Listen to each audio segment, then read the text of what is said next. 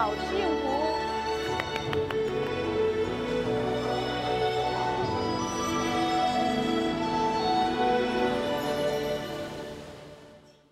你结婚是谁介绍你先生认识的？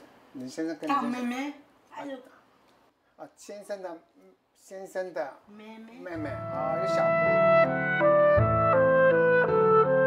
他当时有朋友跟他讲说，他先生在外面有有有朋友，有女朋友，然后他很好，他一开始不相信，结果他自己就跟到男子加工区去，就发现到真的。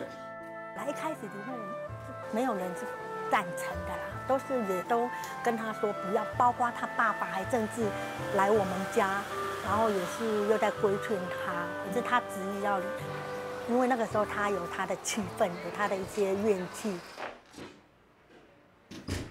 现在对你先生心里还会恨吗？会吗？以前很怨，现在不会。学佛之后不会。小孩子，上人说不要去，心量放宽一点，心量放宽一点，不要一直老是在埋带着埋怨，很辛苦。做环保的时候就不会再想这个事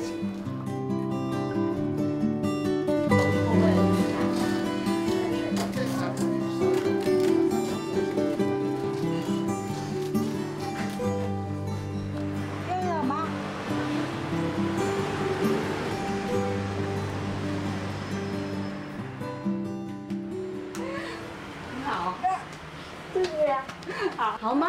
好，好，好，好，好，哎，就哎呦好，，出吧，OK，好。之前为什么连你都会跟他简单的？伊都含阮共组嘛，啊伊即马就来的时阵会比爱叫阮加爱学手语，啊即马叫我们多学，啊阮若忘记了讲我很懒，啊伊来这开讲苗，啊我若阵讲遮拄啊好有朋友来，啊他也会在这边跟我哦们哈拉，嘿，爱就用写，爱去教阮手语，就大家比较笑甲，爱就安尼啊，安尼就会觉得很快乐安尼。他有些苦，他表达方式跟我们听人不一样，所以对他不认识的人看到他会吓到。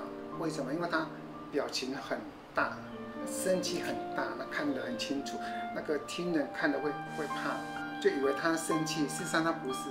以前不认识他的人觉得他不好相处，他因为接触自己之后，他现在心哦很稳呢，改变哦，那变化很大呢。他现在看到人就会笑呢。那甚至他现在看到人就会抱呢，他已经不在不会了呢，他已经不会这样子了呢。